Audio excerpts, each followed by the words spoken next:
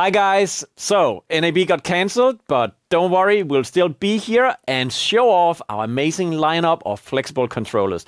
And you don't want to miss our webinar on the 28th of September, where I'll tell you more about three amazing new products from SKAARHOJ. The webinar will run at 11 a.m. Central European Summertime and again 9 p.m. Central European Summertime.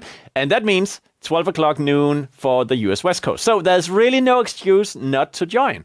And I'll show you this little fella at the webinar. So if you want to know what it can do, join the webinar, sign up now, and you'll receive our new brochure as a free PDF download. So see you on the 28th.